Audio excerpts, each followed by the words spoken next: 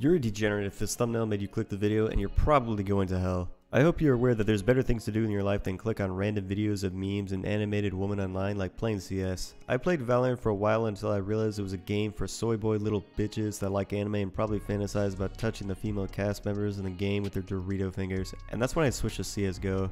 I soon found that it was a game for real men instead. And I realized every time I worked out, it became easier to gain muscle because playing CS actually increased my testosterone, and the opposite happens when you play something like Valorant.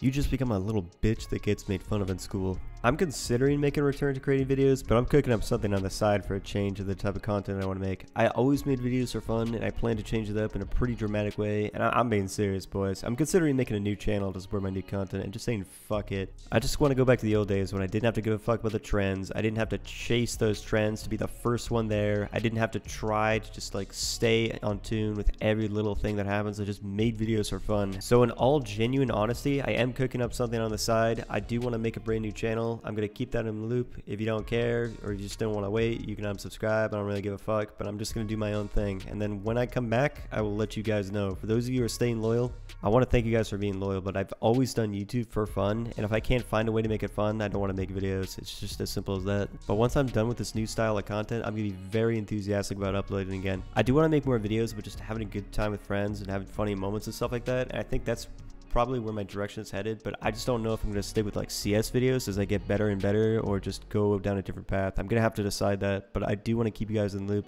I'm sorry about not uploading, but it's so fucking boring just chasing trends. I'm I can't, dude.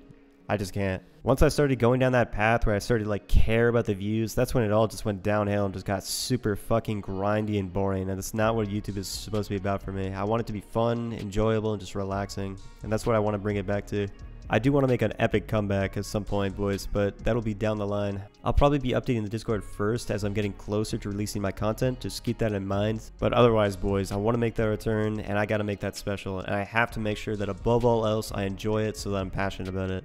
If you're willing to wait, I love you all for that, and I'll see you in the future.